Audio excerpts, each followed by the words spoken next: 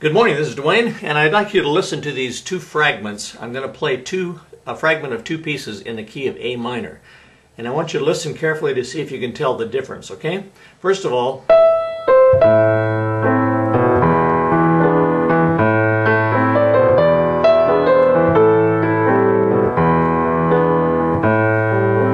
okay, now the second one.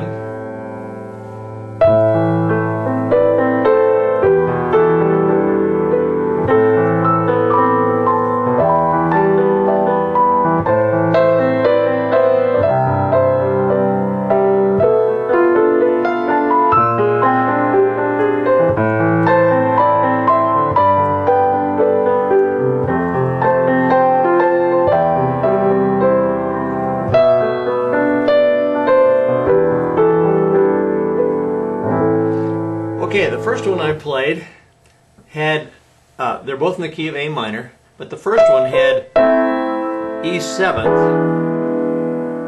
E major seventh, as the 5-7 chord. The second one I played had E minor seventh. Listen. So the difference is either major seventh or minor seventh. Okay?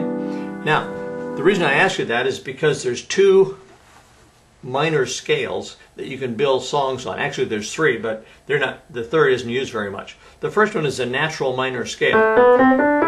That's the A natural minor scale. It's it's, it's natural. It's indigenous to that, that to those notes to that key. Okay. The second kind of minor scale is called a harmonic minor, and what you do is you raise the seventh degree of the scale a half step. So you have that this kind of interval and a half kind of sound, okay? Kind of a snake snake charmer kind of thing.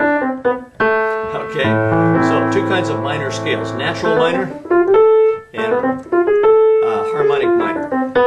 Okay, so if you build a song using the harmonic minor, it's got a it's got a G sharp in it, the, the raised seventh, and that's what summertime has.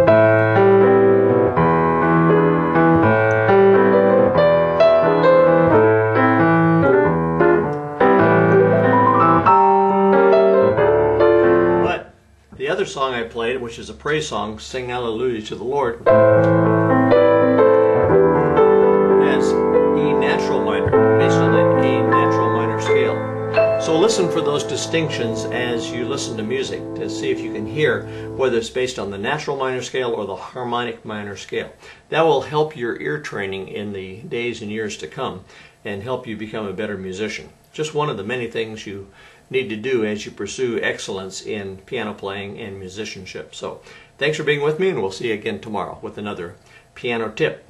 If you haven't signed up for my newsletter, be sure and do that. Go on over to playpiano.com and just sign up and you'll get a piano tip like this most every day. Thanks. Bye bye for now.